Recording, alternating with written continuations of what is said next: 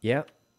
Um, Isn't it uh, weird that Sykkuno was hanging out in the super exclusive partner lounge, and Twitch partners can't even go in, and he's not even a Twitch partner?